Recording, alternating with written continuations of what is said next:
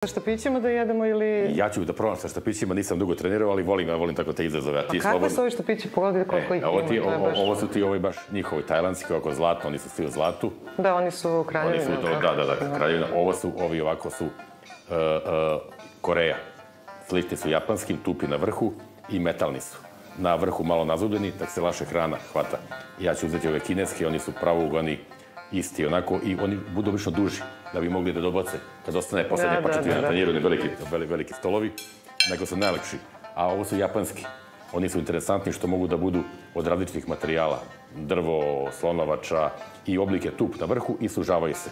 I ukrašeni su. A ukrašeni su zbog toga ritualno. Znači za svadbi da jedno, za, za razne manifestacije uvek imaju neka značenje po sebi. Onako su deluju najinteresantnije i najbolje. I na kraju su opet tajlandske. I na ponovno tajlandski, da. Ali ja sam nekako navikao na ove kineske, pa ćemo da probamo.